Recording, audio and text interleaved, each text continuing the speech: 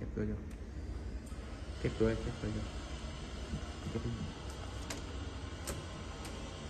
cắm vô. Rồi, chân chân lăn lờ. Siết rồi.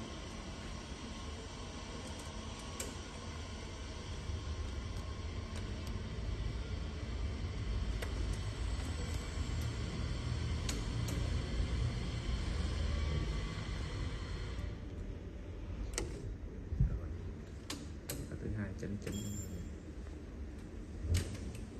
đã thấy đã thấy ngay với em là là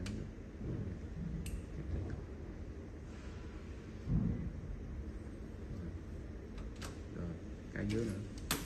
Trên cái dưới nữa.